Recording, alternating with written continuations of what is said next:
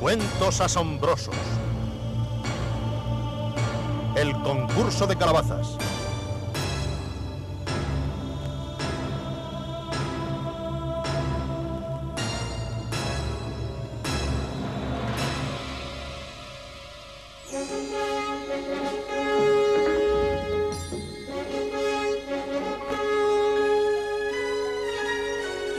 Sin Diana.